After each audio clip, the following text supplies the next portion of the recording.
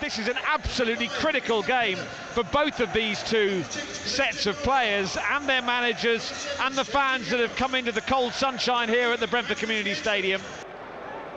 In it comes, and it's going to drop. Oh, is that a handball? It is.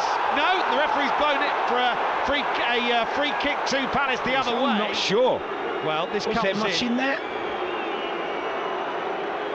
Oh, I dear think not me. a lot of contact there as Guehi puts his arm in the air and it, it hits Guehi on the hand. Well, they're now saying that it, was it a. They're saying that the, the check is for a foul and they've given nothing.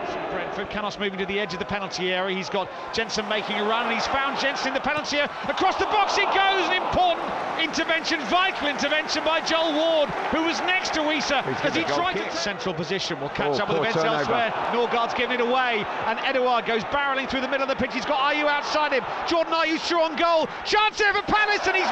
it horribly. Slashed at it with his right foot. Sails well wide of goal. Palace best chance nil nil. Adds to the intensity of the atmosphere, which is no bad thing. Now Ward has played that behind Andersen, and Mbeumo is in the penalty area. Help arriving. Can Wissa get there? No, it's saved. But the day is saved by Mitchell, who once again shows impeccable timing to come back and clear the danger for Palace.